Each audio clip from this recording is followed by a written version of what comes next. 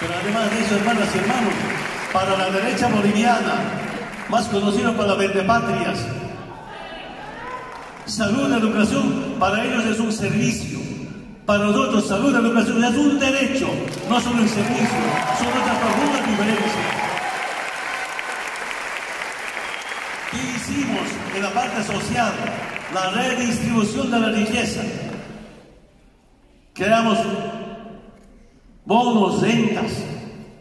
Hemos universalizado muchas conquistas sociales.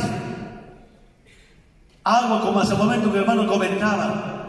Antes del campo no se conocía agua potable, no se conocía luz. ¿Qué telecomunicación? Yo me acuerdo mi primer viaje a Europa, 1989. Me dicen, vas a ir al campo, ido a visitar el campo, gracias a la invitación de algunos hermanos campesinos. Tenían todo, teléfono, agua potable, luz. Yo dije, ¿quién va a ser campesino este?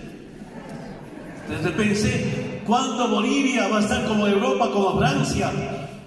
En el campo con luz, teléfonos, agua potable, me sorprendía. Estoy hablando del 89. Y después de que llegamos al gobierno, después de que cambiamos la matriz económica con las nacionalizaciones, y ahora Bolivia ya tiene telecomunicación. Solo les comento telecomunicación en Telmóvil.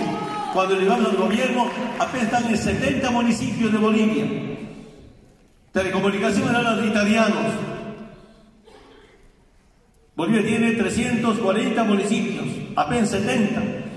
¿Y cuánto era, cuánta era la utilidad? Utilidad para esa empresa italiana, año, 70 millones de dólares.